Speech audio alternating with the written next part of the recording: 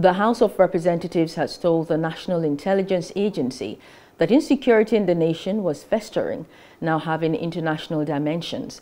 It therefore asked the agency to brace up to the challenges and collaborate with other security networks and committees across Africa in intelligence and information sharing to tackle the menace on national, regional and continental fronts. Chairman, House of Representatives Committee on National Security and Intelligence, Honorable Shaaban Ibrahim, made the disclosure during the 2022 budget defense of the agency. Ibrahim also stated that the committee was considering removing the agency from the envelope budgetary system of revenue allocation to enable it to receive adequate funds for its operations.